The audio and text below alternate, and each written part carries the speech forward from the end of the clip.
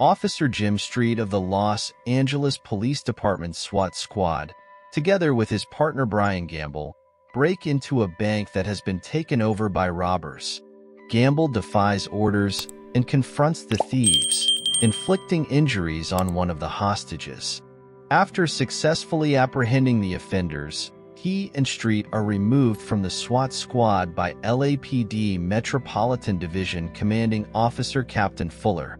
Street is reassigned to working at the police inventory when Fuller offers him the opportunity to rejoin the team by bringing up Gamble. Gamble leaves the force and breaks up with Street, thinking that the latter leaked information to him so he could continue working with SWAT. Six months later, Sergeant Daniel Hondo Harrelson, a veteran of the LAPD, is called in by the chief of police to rebuild the SWAT force. Despite Fuller's objections, Hondo shows interest in Street and hires him along with TJ McCabe, Chris Sanchez, Michael Boxer, and Deacon Kay They become close as they train together and succeed in passing all of their tests. Following their celebration, Street and Gamble have a heated altercation. The group then completes their first successful mission, which involves using Street's wall-breaching battering ram to take down an unstable gunman. Alexander Montel, a French drug lord who took over his family's criminal enterprise by killing his father, kills his uncle for misappropriation when he arrives in Los Angeles. He is stopped by police for a broken tail light while driving his uncle's car to the airport.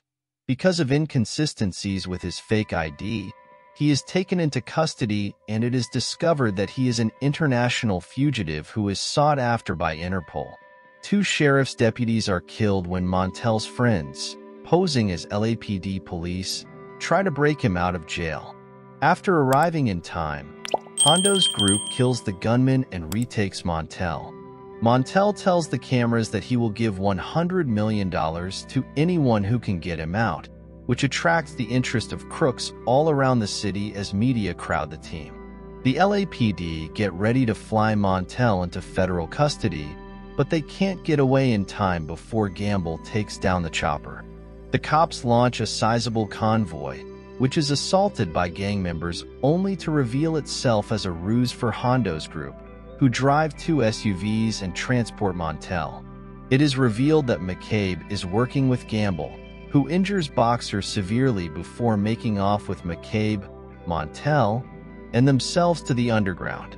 They take a subway car and run through the sewers while the SWAT squad follows them. After that, Fuller heads to Hawthorne Airport with all of his units to make sure Montel doesn't take off.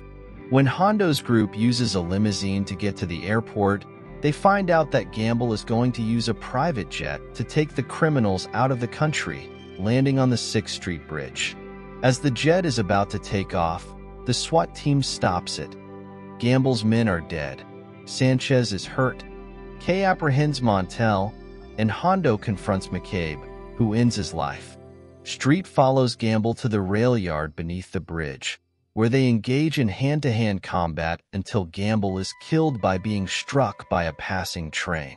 Montel is taken to federal jail by Hondo's crew after Fuller and the other members of the LAPD arrive. With encouragement from Street, Hondo prepares his crew in response to a report of an armed robbery that is underway while the group makes its way back to Los Angeles.